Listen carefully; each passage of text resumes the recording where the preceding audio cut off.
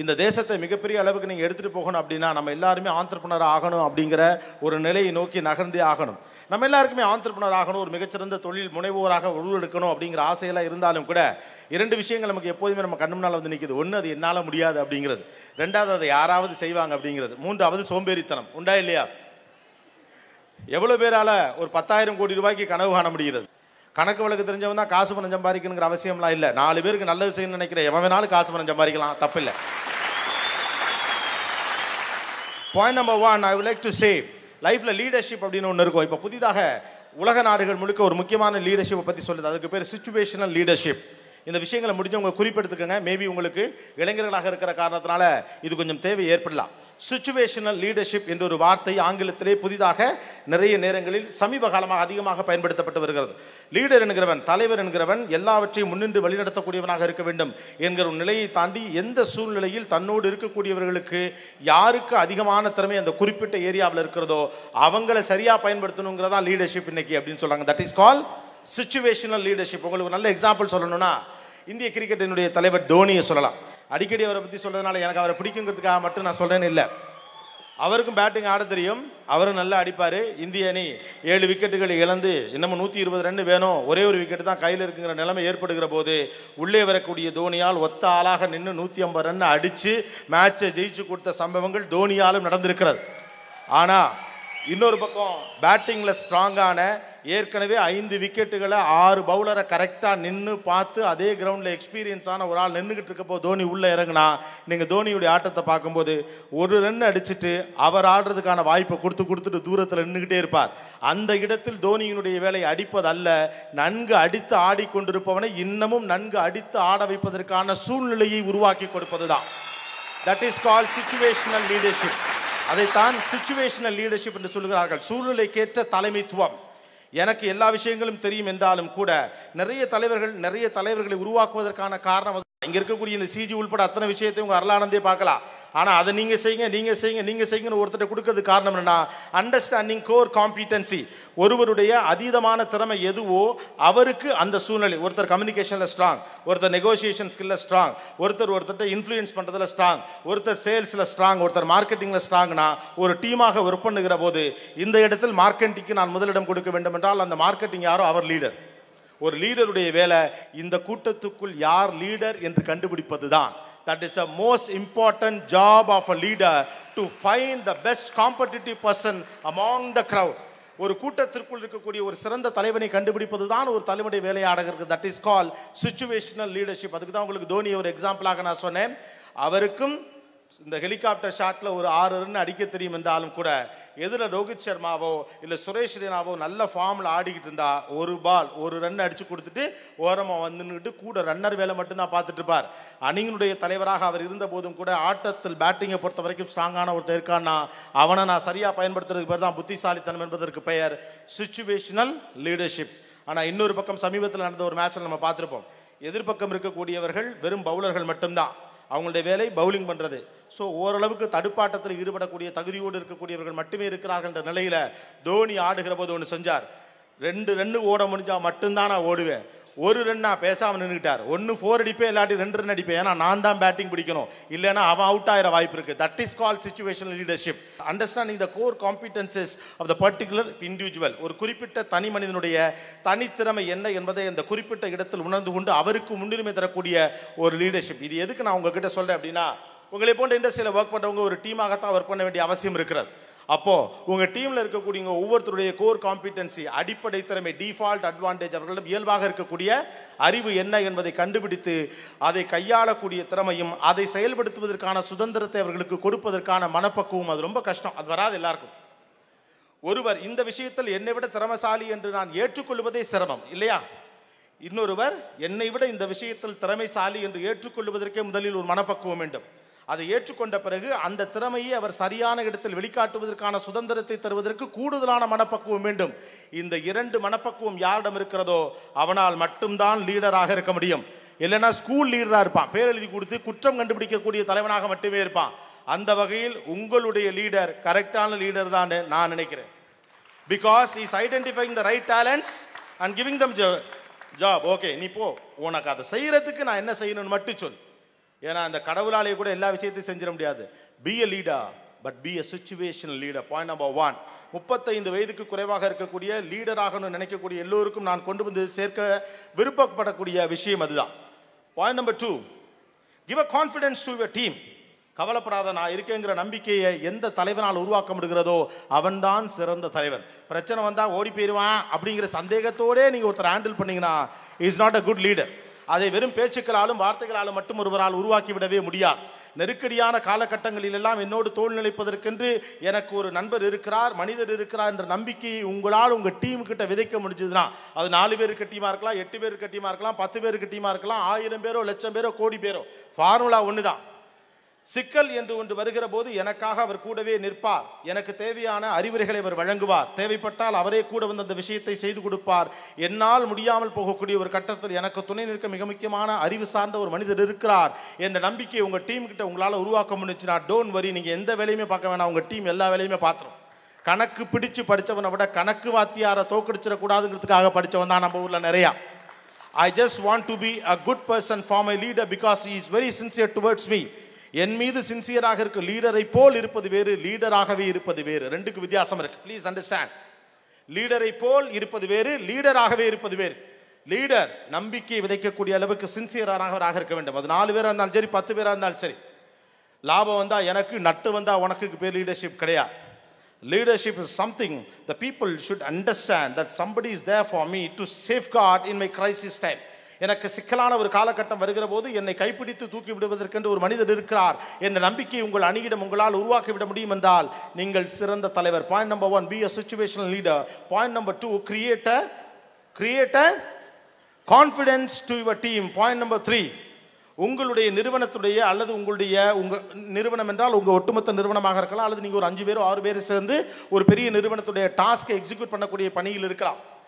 உங்களுடைய விஷன் என்ன மிஷன் என்ன அப்படிங்கிறத சம்மந்தப்பட்டவர்களுக்கு சரியாக சொல்லுங்கள் நான் இப்போ சொல்லக்கூடிய விஷயம் எல்லாம் உங்களுடைய பாஸ் உங்ககிட்ட சொல்லிட்டு இருக்க விஷயம்தான். விஷன் அண்ட் மிஷன் நம்ம எதற்காக இதை செய்கிறோம் ஏன் இதை செய்கிறோம் இதனால் நாலு பேருக்கு என்ன புண்ணியம்? உனக்கு என்ன புண்ணியம்? எனக்கு என்ன புண்ணியம்? Vision and mission of the கம்பெனியை அல்லது நம்முடைய டாஸ்க்கை கரெக்டாக உங்களுடைய உங்களுடைய கனவுகளை அவர்கள் மீது சரியாக செலுத்துவதன் மூலம் அவர்களை மிகச்சரியான பாதையில் கொண்டு சேர்க்க முடியும். And then I like to communicate நல்லதா நாலு விஷயம். நம்ம ஊரில் இந்த ஸ்டார் பெர்ஃபார்மருக்கும் பெர்ஃபார்மருக்கும் இடையில ஒரு பெரிய போட்டி நடந்துட்டு இருக்கும் இல்லையா? இந்த உலகத்தில் ரொம்ப கீழானவனுக்கும் மிகப்பெரிய வெற்றியாளனுக்கும் இடையில போட்டியே கிடையாது. ரெண்டு பேருமே பிரச்சனை இல்லாமல் இருப்பாங்க. But the problem is always between the best performer and the star performer மிகச்சிறப்பாக வேலை பார்க்கிறவன் மிக மிகச்சிறப்பாக வேலை பார்க்கிறவன். இவர் ரெண்டு பேருக்கு இடையிலாம் பிரச்சனை. லைஃபுங்கிறது point two point three point four point ஃபைவ்ல தான் நடக்கும். நாம எல்லாரும் இருபது முப்பதுங்கிற விஷயங்களை சிந்திக்கிறோம். ஆனால் உண்மையிலேயே வாழ்க்கை என்பது பாயிண்ட் ஒன்ல மிஸ் கையை கையை விட்டு போகுது. பாயிண்ட் டூவில் கை விட்டு போகுது. பாயிண்ட் த்ரீல கை விட்டு போகுது. பாயிண்ட் ஃபோர் பாயிண்ட் ஃபைவ்ல தான் போகுது. தொண்ணூற்றி ஒம்பது புள்ளி ஒம்பது பர்சன்ட் எடுத்தவனுக்கும் தொண்ணூற்றி ஒம்பது புள்ளி ஏழு பர்சன்ட் எடுத்தவனுக்கும் எந்த பெரிய வித்தியாசமும் இல்லை இல்லையா? என்ன பெரிய வித்தியாசம்? முடியும் பாயிண்ட் டூ பர்சன்டேஜ் அவன் கூட. தொண்ணூற்றி ஒன்பது புள்ளி ஒன்பது சதவீதம் எடுத்தவனுக்கும் தொண்ணூற்றி ஒன்பது புள்ளி ஏழு சதவீதம் எடுத்தவனுக்கும் இடையில் மிகப்பெரிய வித்தியாசம் இல்லை. பாயிண்ட் டூ என்கிற அளவை தாண்டி. ஆனால் நம்பர் ஒன்றுங்கிறவன் நைன்டி நைன் பாயிண்ட் நைன் எடுத்தவன் தான். பிரச்சனைங்கிறது இந்த ரெண்டு பாயிண்ட் பாயிண்ட் டூக்குள்ளே இருக்கக்கூடிய பிரச்சனை மட்டும்தான். If you want to be a star performer you should have four good qualities new அப்படின்னு சொல்கிறாங்க உலகம் முழுவதும் இது ஏறக்குறை ஏற்றுக்கொள்ளப்பட்டிருக்கிறது. நான் சொன்ன நைன்டி நைன் பாயிண்ட் நைனுங்கிறது நைன்டி நைன் பாயிண்ட் செவனுங்கிறதும் டென்த்து ஸ்டாண்டர்ட் டுவெல்த்து ஸ்டாண்டர்ட் மார்க்கை மனசில் வச்சு சொல்லலை. அதில் அந்த பஞ்சாயத்தே இருக்கக்கூடாது. அதை பற்றி ஒரு பிரச்சனையை கிளப்பக்கூடாதுங்கிற ஆள் நான். அதில் நாற்பத்தஞ்சு புள்ளி நாலு சதவீதம் எடுத்தால் கூட நாட்டுக்கு ஒன்றும் பிரச்சனை கிடையாது. அவனா ரசித்து படித்து தொண்ணூற்றி ஒம்பது புள்ளி ஒம்பது சதவீதம் எடுக்கட்டும் எவன் தொந்தரவும் இல்லாமல் அதுக்கு பேர் படிப்பு. ஊரே அவனை போட்டு கிட்டத்தட்ட கழுத்து வரைக்கும் புதைச்சி அவன் தொண்ணூத்தொம்பது புள்ளி ஒம்பது எடுத்து அவனால் எந்த நாட்டுக்கும் புண்ணியம் இல்லை. நம்ம நாட்டுக்கு மட்டும் இல்லை. So what I'm talking about is being a star performer லைஃப்பில் நாம் எல்லாரும் பெஸ்ட்டுக்கு ஆப்போசிட் ஒன்று சொல்லுங்க அப்படின்னம்னா எதை சொல்லுவோம்? பெஸ்ட்டுக்கு ஒஸ்ட் ரைட்டா பெஸ்ட்டோட ஆப்போசிட் அது கிடையாது. பெஸ்ட்டோட ஆப்போசிட் குட்டு தான். ஏன்னா பெஸ்ட்டுக்கு ஒர்ஸ்ட்டுக்கு ஒரு நாளும் பிரச்சனை கிடையாது. நான் ஏற்கனவே சொன்ன மாதிரி நைன்டி நைன் பாயிண்ட் நைனுக்கும் வெறும் இருபத்தஞ்சுக்கும் எந்த பிரச்சனையுமே கிடையாது. நம்முடைய மிகப்பெரிய சிக்கல் பெஸ்ட்டோட எதிரி யாருன்னா ஒர்ஸ்ட்டு கிடையாது. பெஸ்ட்டோட எதிரி குட்டு தான். நான் நல்லா தானே பண்ணிக்கிட்டு இருக்கேன். எனக்கு என்ன? சூப்பராக தான் நல்லா பண்ணிட்டு இருக்கேன். என்ன பாயிண்ட் டூ தானே கம்மிங்கிற ஒரு சின்ன எண்ணம் உங்களை இன்னமும் வேகமாக ஓடுவதை நோக்கி தடுத்து கொண்டு இருக்கிறது உலகத்தில் எப்பொழுதுமே பெஸ்ட்டோட எதிரி ஒர்ஸ்ட் கிடையாது. பெஸ்ட்டோட எதிரி குட்டு மட்டும்தான். நல்லா தான் பண்ணிக்கிட்டு இருக்கோங்கிற நம்பிக்கையும் அந்த பாயிண்ட் டூ நம்மளை வளர விடாமல் தடுக்கிறதுக்கான மிக முக்கியமான இஷ்யூ பெஸ்ட்டோட எதிரி யாரு? குட்டு நல்லா தான் பண்ணிட்டு இருக்கேன் நல்லா தான் பண்ணிட்டு இருக்கேன் அப்போ பெஸ்ட்டை நோக்கி நகராத பெஸ்ட் மட்டும்தான் த பெஸ்ட் பெஸ்ட்டுக்கு வேறு ஏதாவது இருக்கா? Best is always best if you want to be best நல்லதா நாலு விஷயம். Point number one strong achievement drive and high achievement standard அப்படின்னு சொல்கிறாங்க ஸ்ட்ராங் அச்சீவ்மெண்ட் டிரைவ் அப்படின்னா என்னன்னா உங்களுக்கு புரியுற மாதிரி சொல்லணும் அப்படின்னா உங்களுக்குன்னு ஒரு டார்கெட் விற்க வைக்கப்படுது அப்படின்னா அந்த டார்கெட்டை தாண்டி நான் போகணும்னு நினைக்கிறதுக்கு பேர் தான் ஸ்ட்ராங் அச்சீவ்மெண்ட் டிரைவ் அது ஒரு மனதுக்குள்ள ஓடணும்.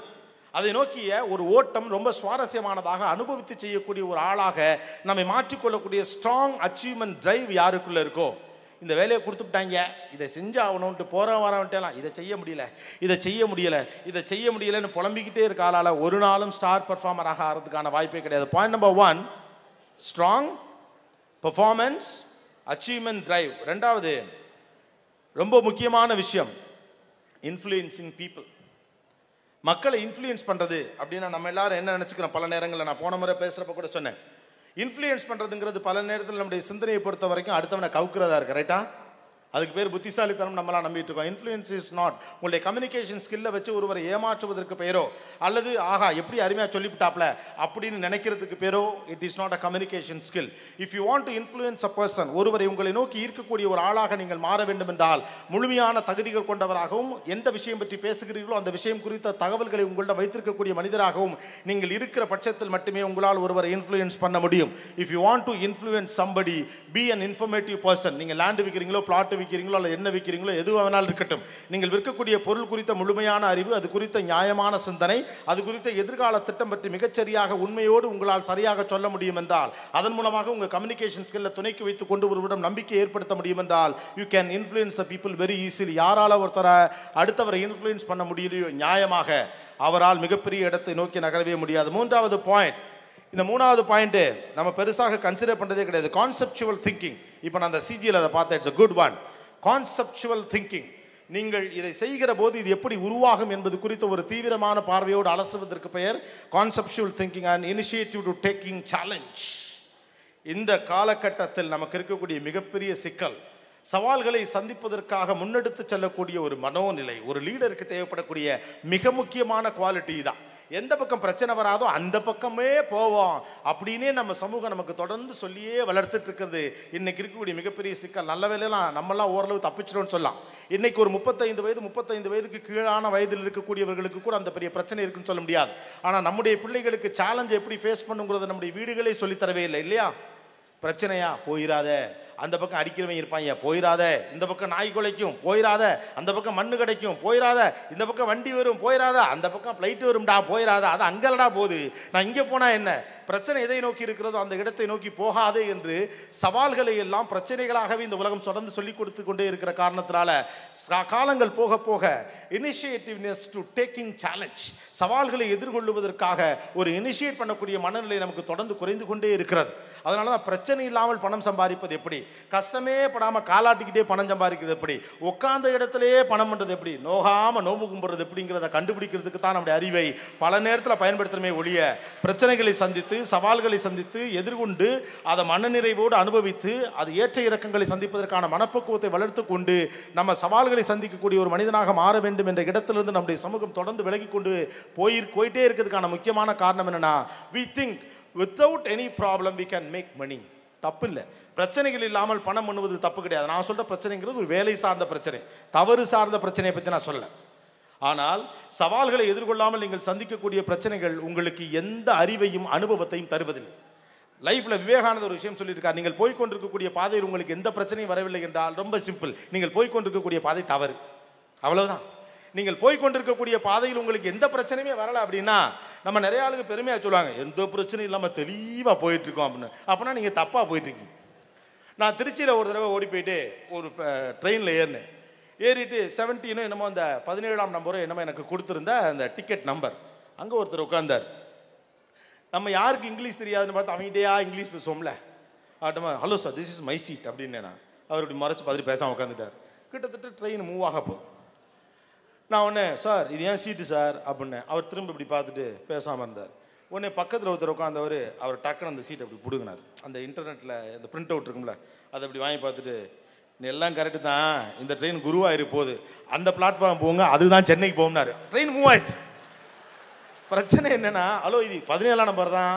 எல்லாம் சரி தான் அந்த எக்ஸ்பிரஸ் பேர் ஒன்று தான் ஆனால் பிரச்சனை என்ன இது நாலாவது பிளாட்ஃபார்மில் இருக்குது இது குருவாயூர் போயிட்டுருக்கடா சீக்கிரம் இறங்கடா. மெட்ராஸுக்கு போகிற ட்ரெயின் அங்கே வருதுங்கிறாங்க.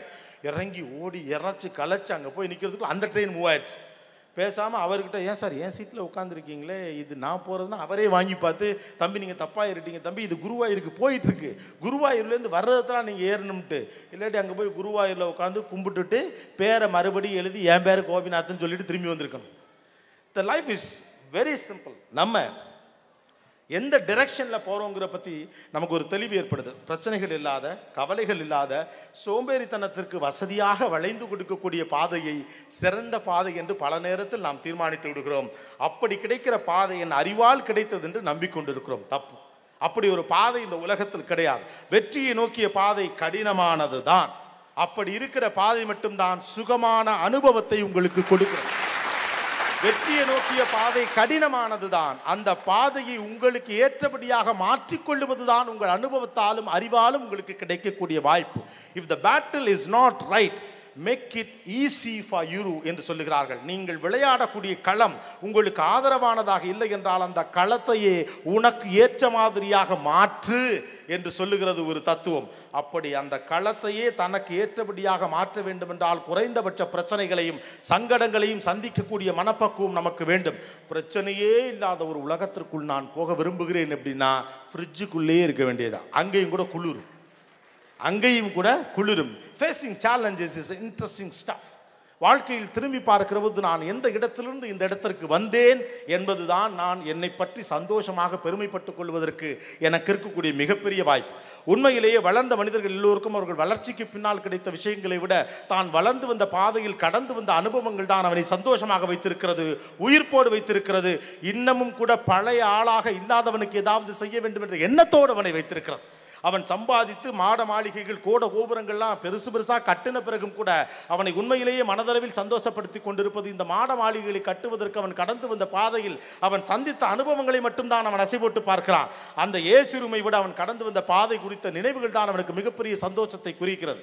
வெற்றிக்கான பாதை கடினமானது. ஆனால் அதை நமக்கு ஏற்றபடியாக மாற்றிக்கொள்ளக்கூடிய அனுபவ அறிவையும் ஞானத்தையும் பெற்றுக்கொள்வதுதான் நம்முடைய முக்கியமான வேலையை அன்றி கடினமே இல்லாத ஒரு பாதையை தேர்ந்தெடுத்து அதற்கு அறிவாளித்தனம் புத்திசாலித்தனம் என்று பெயர் வைக்க முயற்சி செய்வது எந்த காலகட்டத்திலும் ஒர்க் அவுட் ஆகா. இந்த காலகட்டத்தில் எல்லாமே இது. சும்மா இருக்கிறதே கஷ்டம் தெரியும்ல? சும்மா இரு. இந்த உலகம் என்ன சொல்லுது தெரியுமா?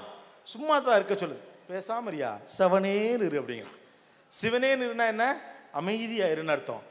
கடவுளையே சும்மா இருக்க சொல்கிறாங்க ஏன்னா சும்மா இருக்கிறது அவ்வளோ கஷ்டம். யாராவது இருந்து பார்த்துருக்கீங்களா? ஒரு படத்தில் வடிவேல் இருப்பார்.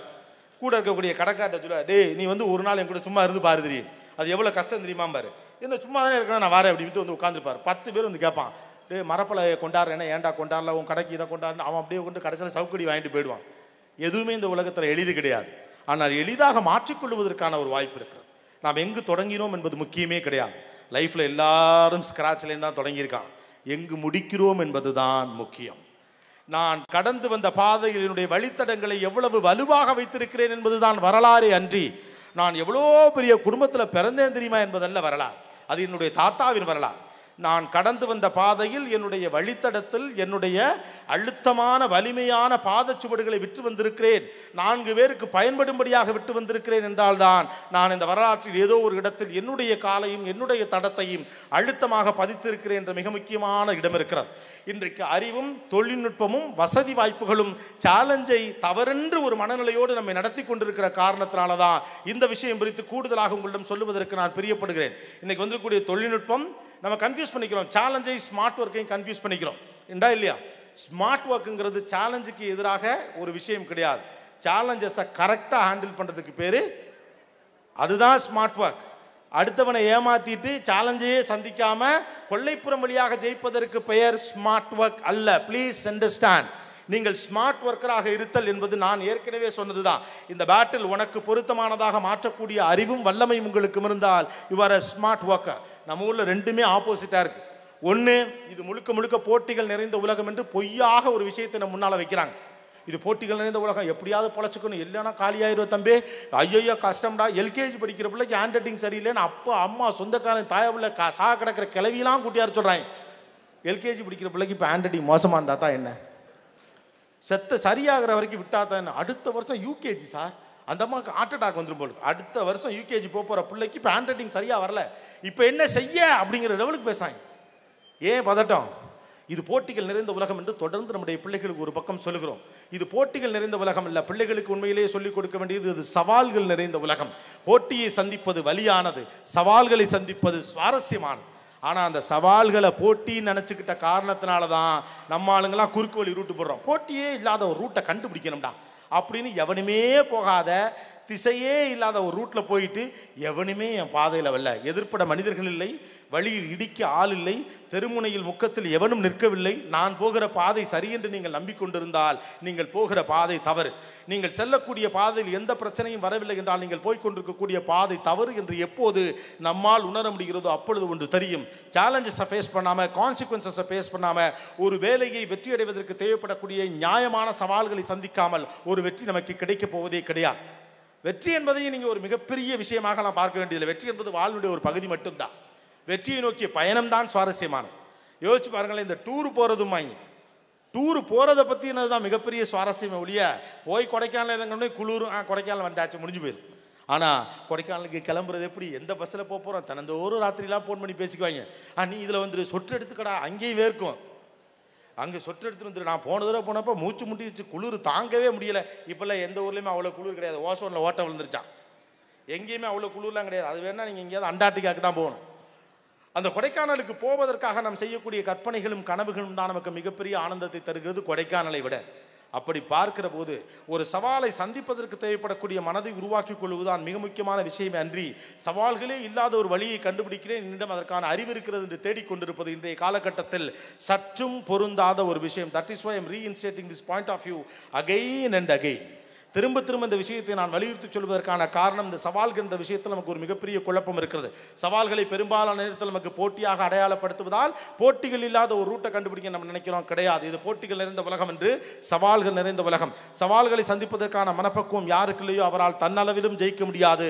மற்றவர்களையும் ஜெயிக்க வைக்க முடியாது. முதல்ல நீங்கள் உங்களை ஜெயிச்சா தான் அடுத்தவனை ஜெயிக்க வைக்கவே முடியும். If you want to be a leader be a successful person first நீங்கள் முதல்ல வெற்றியாளராக இருக்கணும். அப்போ தான் அடுத்தவன் வெற்றிக்குரிய ஒரு மனிதனாக மாற்ற முடியும்.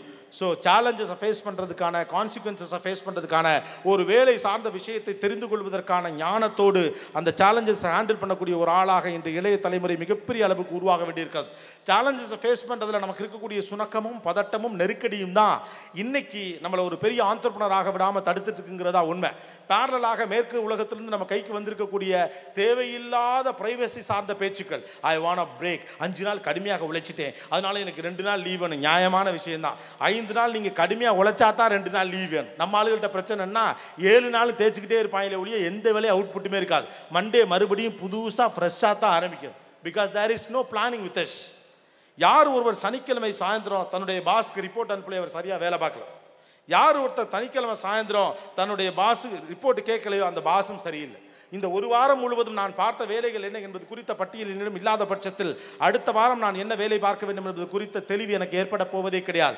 நாம எல்லாம் என்ன நினச்சிக்கிட்டு இருக்கோம்னா இதெல்லாம் அப்படியெல்லாம் மைண்டிலே இருக்கும் மைண்டிலே இருக்கும். எவ்வளோ பேட்ட வீக்லி ரிப்போர்ட் ப்ரிப்பேர் பண்ணக்கூடிய ஐடியா இருக்கு. How many people are doing or preparing their own weekly reports here சொல்லுங்கள் எவ்வளோ பேர் வீக்லி ரிப்போர்ட் ப்ரிப்பேர் பண்ணுறீங்க ஏன்? சார் யோசிச்சு பாருங்க சார் கிட்டத்தட்ட எத்தனை ஆயிரம் பேர் ஒன்றா ஒர்க் பண்ணிட்டு இருக்கீங்க அப்போ நீங்கள் கட்டாயமாக ஒரு வீக்லி ரிப்போர்ட் ப்ரிப்பேர் பண்ணோம் நீங்கள் மேனேஜ்மெண்ட்டுக்கு கொடுக்குறீங்களோ இல்லையோ மேனேஜ்மெண்ட் உட்காந்து அதை கிளியராக எல்லாத்தையும் பார்த்துட்டு இருப்பாங்க பர்ஃபார்மன்ஸ் வைஸ் ஆனால் நீங்கள் என்ன செய்தீர்கள் என்பதை உங்களுக்குள் ஞாபகம் வைத்திருக்க குறைந்தபட்சம் கடந்த வாரம் முழுவதும் நான் பார்த்த வேலைகள் என்ன என்பதை குறித்து ஒரு தெளிவான ஒரு ரிப்போர்ட் நம்மக்கிட்ட இருக்கணும். அந்த தெளிவான ரிப்போர்ட் இருக்கிறப்ப தான் நம்ம அடுத்த வாரம் என்ன செய்யணுங்கிற பற்றின ஒரு தெளிவான ஐடியாக்கே வர முடியும். இல்லாட்டி என்ன பண்ணுவோம்? டப்பு டப்புன்னு யாருக்கு ஞாபகம் வருதோ அவனுக்குலாம் ஃபோன் பண்ணுவோம். செத்த நேரத்துக்கு மேலே அவனுக்கு ஃபோன் பண்ணியிருப்போம் இந்த இப்போ முடிச்சு கொடுத்துறேன்னு சொன்னவனை மறந்துவிட்டு என்னால் முடியவே முடியாதுன்னு கோயிலில் வச்சு சத்தியம் பண்ணவனுக்கே திரும்ப திரும்ப திரும்ப திரும்ப நம்ம ஃபோன் பண்ணிட்டு இருக்கிறதுக்கான காரணம் என்னென்னா யார் நெருக்கத்தில் இருக்கிறார் யாரிடம் இந்த வேலை இப்போது முடியக்கூடிய பக்கத்தில் இருக்குது யார் நம்ம தொடர்ந்து ஃபாலோ பண்ண வேண்டிய ஆள் யார் நம்ம அவ்வளோ ஃபாலோ பண்ண வேண்டியாத ஆள் யார் ஒருத்தருக்கு இந்த இன்ஃபர்மேஷனை கொடுக்கணும் யாருக்கு இந்த இன்ஃபர்மேஷனை கொடுக்கல. இது பற்றின எல்லா டேட்டாவையும் என்னுடைய மனசுலேயே நான் வச்சிருப்பேன் அப்படின்னு நீங்கள் நினைக்காது தயவு செஞ்சு பி அ ப்ரொஃபஷனல் கொஞ்சம் ப்ரொஃபஷனலாக உங்களை மாற்றிக்கொள்ள வேண்டும். இன்னைக்கு உங்கள் கையில் இருக்கக்கூடிய ஒரு ஸ்மார்ட் ஃபோனை ஒரு அலுவலகமாக உங்களால் மாற்றிவிட முடியும். அதெல்லாம் ஒரு காலகட்டம். அதற்கென்று ஒரு இடம் வேணும் உட்கார இடம் வேணும் அதுக்கு டயம் வேணும் இதுக்கு டயம் வேணும். இதெல்லாம் இன்றைக்கி கிடையாது. நீங்கள் உட்கார்ந்து இருக்கக்கூடிய இடத்திலிருந்தே ஒரு ஸ்மார்ட் ஃபோனின் மூலமாக ஒட்டுமொத்த அலுவலகத்தை உங்கள் உள்ளங்கைக்குள் கொண்டு வரக்கூடிய அளவுக்கு இன்றைக்கு தொழில்நுட்பம் உங்களை வளர்த்தெடுத்திருக்கிறது. ரைட்டா ஒரு கேலண்டர் மேனேஜ்மெண்ட்லேருந்து அக்கௌண்ட் மேனேஜ்மெண்ட்லேருந்து இமெயில் ஃபெசிலிட்டிலேருந்து நீங்கள் ஃபோன் பண்ண வேண்டிய ஆள்லேருந்து வாட்ஸ்அப்லேருந்து ஸ்கைப்லேருந்து உங்களுக்கு என்ன வேணுமோ அத்தனையுமே இருக்குது ஆனால் பல நேரம் என்ன பண்ணுறோம் நல்லா பெருசாக ஒரு ஃபோனை வாங்கிட்டு அதை கையிலேயே வச்சுக்கிறோம். பெரிய ஃபோன் வச்சுருக்கேம்மா ஏன் வீட்டில் இருக்க டிவியை தூக்கிட்டு போக வேண்டியதானே எந்த சத்த பெருசாக இருக்கும்.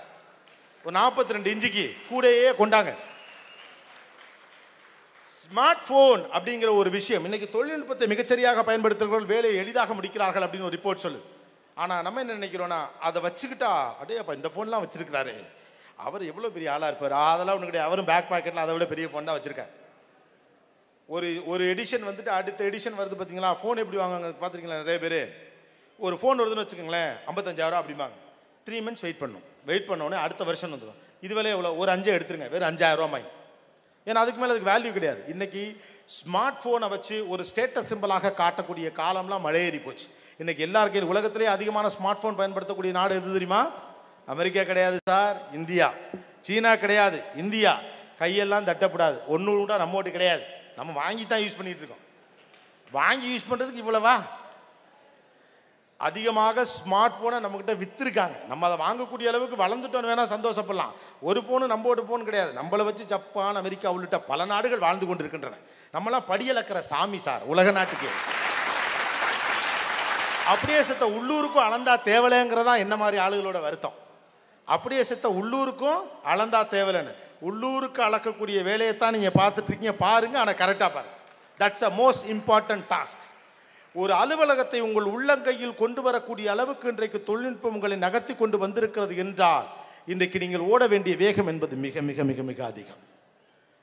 The opportunities are so easy today அன்னைக்கெல்லாம் துபாயிலேருந்து ஒருத்தர் ஃபோன் பண்ணி தன்னுடைய பொண்டாட்டிகிட்ட அன்பா ரெண்டு வார்த்தை பேசணும்னா ஆண்டவன் மனசு வச்சா தான் முடியும். உண்டா இல்லையா? இவர் அங்கேருந்து கஷ்டப்பட்டு சம்பாரித்த காசுலேருந்து ஒரு குறிப்பிட்ட சின்ன தொகையை எடுத்துக்கிட்டு எங்கேருந்தோ ஃபோன் பண்ணுவார். அந்த கிராமத்தில் யாரோ ஒரு பெரியவர் வீட்டில் மட்டும்தான் அந்த ஃபோன் இருக்கும். ஆனால் நான் கஷ்டப்பட்டு நம்ம பண்ணணும்னா அந்த கிழமை அந்த ஃபோனுக்கிட்டே உட்காந்துருப்பாப்புல சரின்னு ஃபோன் பண்ணோம்னா அவர் எடுப்பார். நாலு வீடு தள்ளி இருக்கக்கூடிய தன்னுடைய மனைவியை அவர் கூப்பிட்டு பேசணும் அப்படின்னா அவர்கிட்ட சொன்னவொடனே அவருக்கு சரியாக காதில் விழுகாது. அதுக்குள்ளே இங்கே காசு எகிர் எகிர்னு எகிரும்.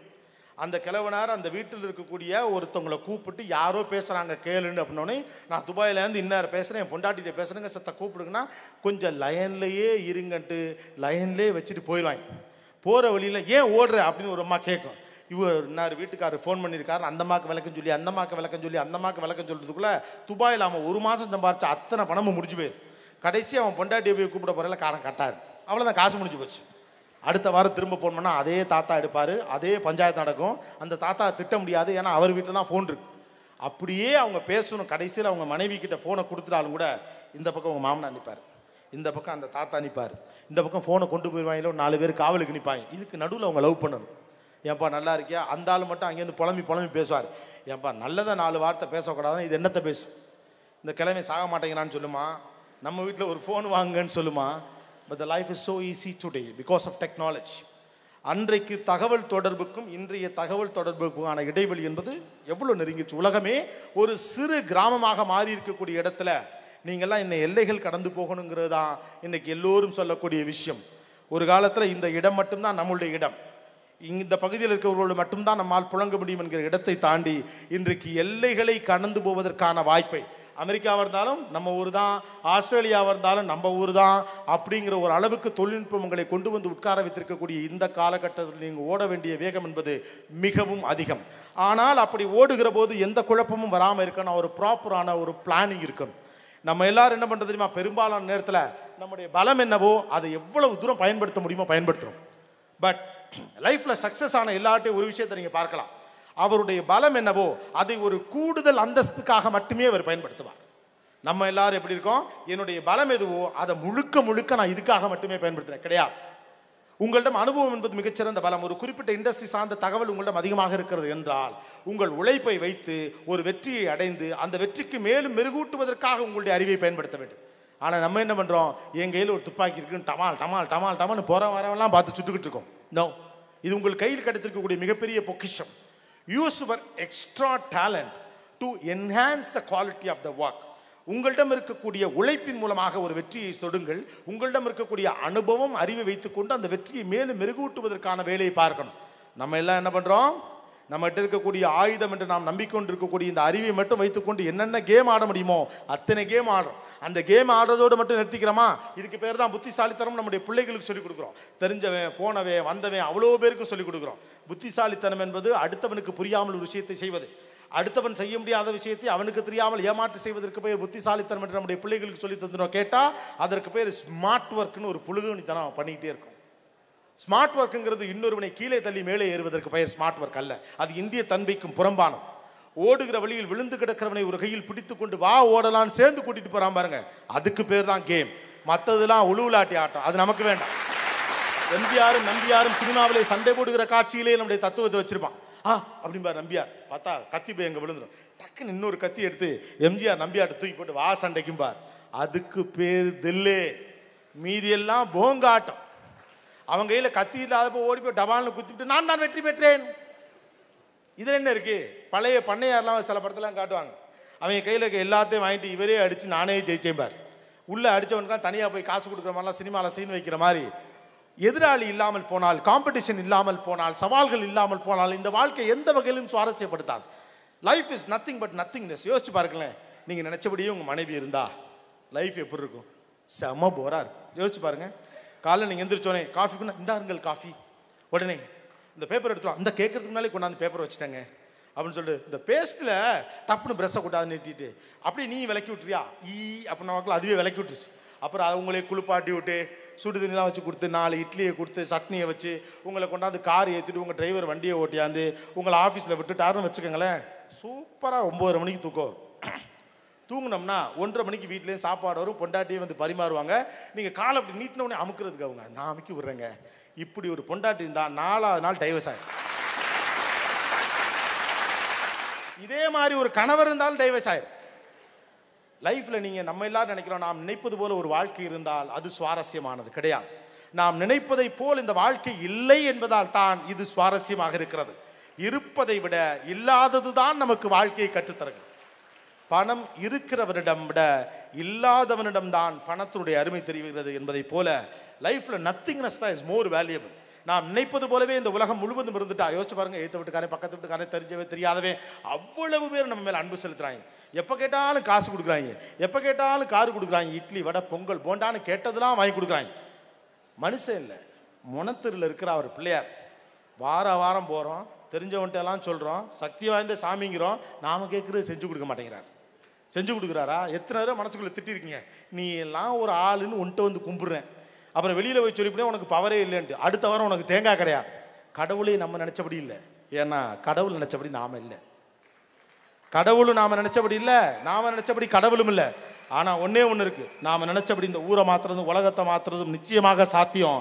அதுக்கு முதல்ல நான் என்ன மாற்றிக்க எனக்கு ஏற்றபடி இந்த உலகத்தை மாற்ற நான் நினச்சேன்னா முதல்ல இந்த உலகத்துக்கு ஏற்றபடி நான் இருக்கணாங்கிற ஒரு கேள்வி இருக்குது பட் நம்முடைய பல நேரங்களில் நமக்கு அயற்சியாகவும் டயர்டாகவும் இருப்பதுக்கு முக்கியமான காரணம் நான் நினைத்தது போல இந்த உலகம் இல்லை. நான் நினைத்தது போல இந்த மனிதர்கள் இல்லை. நான் நினைத்தது போல என்னுடைய குழந்தை இல்லை. நான் நினைத்தது போல என்னுடைய பாஸ் இல்லை. நான் நினைச்சது போல என் ஃப்ரெண்ட் இல்லை. நீங்கள் நினைச்சது போல ஒன்றுமே இருக்காது.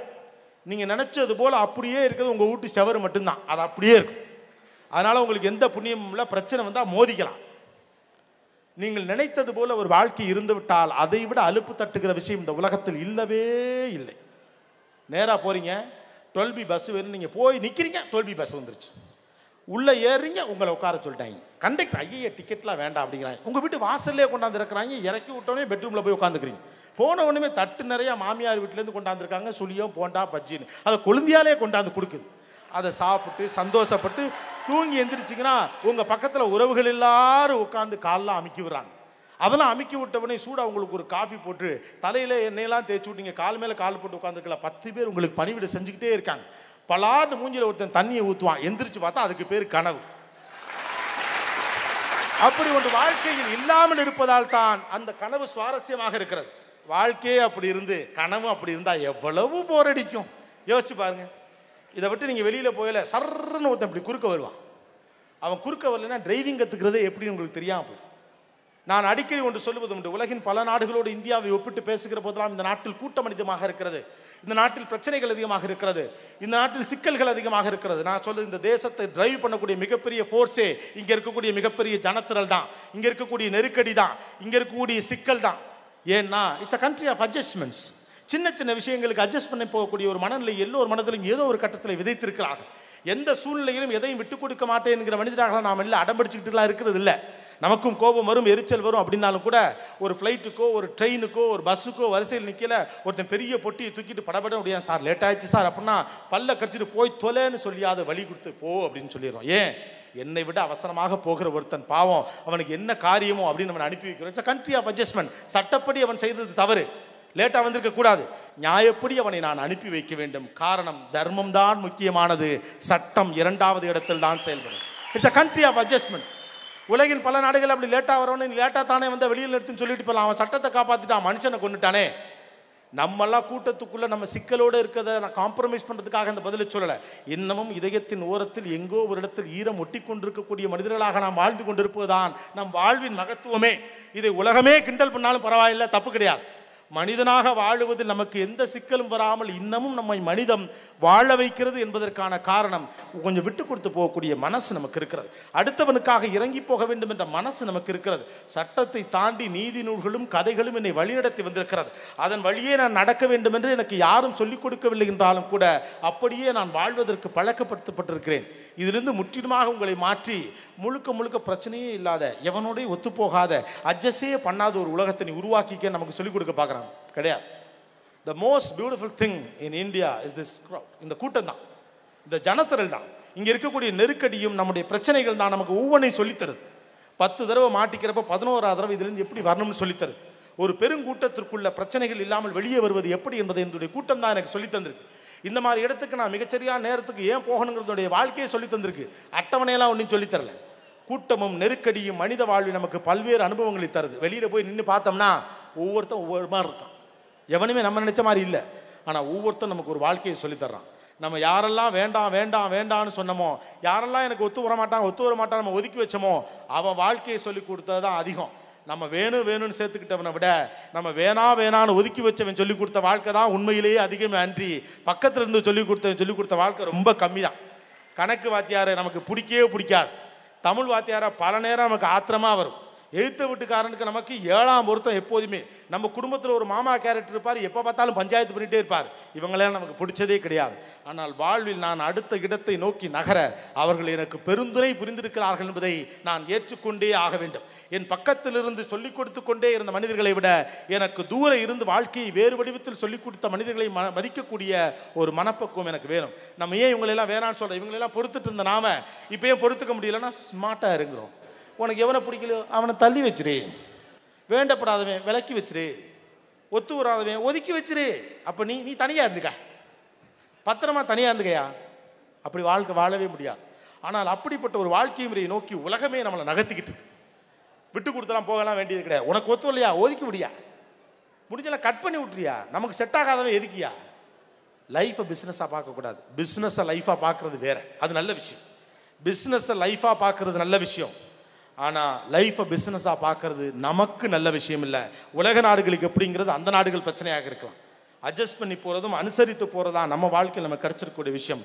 பேக் டு த பெவலியன் மறுபடியும் வியாபாரம் சம்பந்தமாக தொழில் சார்ந்த ஒரு முக்கியமான விஷயத்த சொல்கிறேன் என்னதான் லைஃப் இஸ் அ பிஸ்னஸ்ன்னு நம்ம சொல்லிட்டாலும் இமோஷனலாக அதை பார்த்தாலும் ஒரு விஷயம் நம்மக்கிட்ட ஒரு பெரிய சிக்கலாக இருக்கும். தெரிஞ்சவங்களை வேலைக்கு வச்சுக்கணும். இல்லையா? அதை நம்ம நிறையா செய்கிறோம் தெரிஞ்சவங்களை வேலைக்கு வச்சுக்கிறோம் ஆனால் உண்மையிலேயே ஆழமாக கவனித்து பார்த்தா தெரிஞ்சவங்களை வேலைக்கு வச்சுக்கிறத விட வேலைக்கு தெரிஞ்சவங்களை வேலைக்கு வச்சுக்கிறது தான் நியாயம். இவன் எனக்கு தெரியும். என் ப்ரொஃபைலுக்கு அவன் தேவையா தேவையில்லைன்னா எனக்கு தெரியாது. இவன் எனக்கு தெரியும். இருந்துக்க. அவன் எனக்கு தெரியும். நீ இருந்துக்க. நாம் எல்லாரும் முக்கத்திலே இருந்துக்க வேண்டியதான் கடைசி வரைக்கும் அந்த கடையில் டீ குடிச்சிட்டு அங்கேயே இருந்துக்க வேண்டியதான் வேலை தெரிந்தவனை வேலைக்கு வைக்கிற போது தான் ஒரு வேலை வளப்படுகிறது. ஆனால் நமக்கு என்ன சிக்கல்னா நமக்கு தெரிஞ்சவனை வச்சுக்கிட்டா நமக்கு பிடிச்ச மாதிரியே அவன் பேசுவான். நம்ம கரெக்டான ரூட்டை தாண்டா போயிட்டு தான் கரெக்டாக தான் போகிறோம் இது ஒர்க் அவுட் ஆகும்ல ஒர்க் அவுட் ஆகும் இப்படியே நம்ம போனோம்னா பெரிய ஆளாயிடலாம்ல பெரிய ஆளாயிடலாம் அப்படியே பின்னாலே வருவாங்க. இந்த வ- வடிவேலு படத்தில் சொல்லக்கூடாதா இங்கிட்டு பாதாள சாக்கடை இருக்கிறதுன்று அப்படிம்பாங்கல்ல அது மாதிரி கூடவே வருவாங்க கூடவே போவாங்க. தெரிந்தவர்களை வேலைக்கு வைத்துக் கொள்ளுதல் என்பது வேறு வேலை தெரிந்தவர்களை வேலைக்கு வைத்துக் கொள்ளுதல் என்பது வேறு. வேலை தெரிந்தவர்களை வேலைக்கு வைத்துக் கொள்வதற்கு நமக்கு ஒரு மனப்பக்குவம் வேண்டும். ஏன்னா அவன் தவறென்றால் சுட்டி காட்டுவான் நான் சொல்லுவதையெல்லாம் கேட்கக்கூடிய மனிதர்களின் பக்கத்தில் இருக்க வேண்டும் என்று நினைப்பதற்கு பெயர் சோம்பேறித்தனம். சரியானது எதுவோ அதை என்னிடம் சொல்லக்கூடிய துணிச்சல் உள்ளவனை வேலைக்கு வைத்துக் கொள்வதற்கு பெயர்தான் லீடர்ஷிப் இது தப்பு சார். செய்யக்கூடாது சார்னு துணிச்சலோடு சொல்லுகிறவன் உங்களுக்கு விசுவாசியாக இல்லை என்றாலும் உங்கள் வேலைக்கு விசுவாசமன் அவனாக இருப்பான். நீங்கள் போகிற பாதை தப்புன்னு தெரிஞ்சும் கூட இந்த ஆள்கிட்ட சொல்லி எவன்டா திட்டு வாங்குறது தொலைஞ்சிட்டு போய் சூப்பர் சார் அப்படின்னு சொல்லிட்டு போகிறவன் உங்களை காலி பண்ணுறதுக்கு நீங்களே சம்பளம் கொடுத்து ஒருத்தனை வச்சுருக்கீங்கன்னு அர்த்தம். வேலை தெரிஞ்சவன் தப்புனா தப்புன்னு சொல்லிடுவான். வேலை தெரியாதவனை வேலைக்கு வைக்கிறத விட ரொம்ப முக்கியம். வேலை தெரிந்த ஒருத்தன் சொல்கிறத கேட்கறதுக்கான மனப்பக்குவத்தை வளர்த்துக்கிறது தான். நான் விசுவாசமான மனிதர்கள் வேண்டாம் என்று சொல்லவில்லை. அப்படி ஒரு நெருக்கடியில் ஏன்னா சில விஷயங்களில் விசுவாசமான மனிதர்களை வேலைக்கு வைக்க வேண்டிய இடங்கள் என்று ஒன்று இன்றைக்கு இருக்கிறது. நான் மறுக்கல். There all practical issues are there அதில் பிரச்சனைகள் இருக்குது தான் விசுவாசமான ஒருத்தரை நீங்கள் வேலைக்கு பணியமர்த்துகிற போது அவரை விசுவாசம் என்கிற ஒரு அடிப்படையில் நீங்கள் வேலைக்கு சேர்த்திருந்தாலும் கூட குறைந்தபட்ச காலகட்டத்திற்குள் வேலை செய்வதற்கான தகுதியை விட உருவாக்க வேண்டிய பொறுப்பு நம்மிடம் இருக்கிறது. அவர் விசுவாசி என்கிற ஒரே காரணத்திற்காக வேலைக்கு வைத்தால் உங்கள் மீது அவருக்கு இருக்கிற விசுவாசம் வளரும். அவரை வேலை வைத்ததற்காக உங்களுக்கு இருதய நோய் சம்பந்தப்பட்ட பிரச்சனைகள் வளரலாம். If you want to be professional appoint people those know about the job not about you நீங்கள் ப்ரொஃபஷனலாக வேலையை நடத்த வேண்டும் என்று ஆசைப்பட்டால் உங்களுக்கு தெரிந்தவர்களை வேலைக்கு வைக்காதீர்கள். வேலை தெரிந்தவர்களை வேலைக்கு வையுங்கள். முப்பத்தைந்து வயதுக்கு குறைவான ஆண்டர்பனல் ஆட்டிடியூடோட இருக்கக்கூடிய பல பேர் இருந்த காரணத்தினால இன்னைக்கு தொழில் சார்ந்த பல்வேறு விஷயங்களை உங்கள் கூட ஷேர் பண்ணிக்கணும் அப்படின்னு நினச்சேன். அதிலேயே கொஞ்சம் சமூகம் சார்ந்த விஷயங்கள் சொல்லுவதற்கான வாய்ப்பு கிடைத்தது. இந்த க்ரௌட் இஸ் அஸ்டானிஷிங் இந்தியாவுடைய மிகப்பெரிய சக்தி என்று பலரும் சொல்லிக் கொண்டிருப்பது இந்த மக்கள் திரள் தான் நூற்றி இருபது நூற்றி இருபத்தஞ்சு கோடி அதையெல்லாம் வெறும் சதையாக பார்த்துட்டா வெறும் உடம்பாக பார்த்துட்டா இந்தியா பலமில்லாத ஒரு நாடு தான் அது எல்லாத்தையும் மூளையாகவும் சக்தியாகவும் பார்த்துட்டா உலகத்திலேயே பணக்கார ரிச்சான அறிவான நாடு இந்தியாவாக மட்டும்தான் இருக்க முடியும். காரணம் இங்கே நூற்றி முப்பத்து கோடி மூளை இருக்கு. உங்களை தயவு செய்து சதையாக பார்க்காதீர்கள். மூளையாக பாருங்கள். அதிகபட்சம் ஒரு ஐம்பது வருஷம். ஒட்டுமொத்த உலகத்தையும் உள்ளங்கையில் வைத்திருக்க போவது ஒரு இந்தியன் தான். அது நீங்களாகவும் இருக்கலாம்.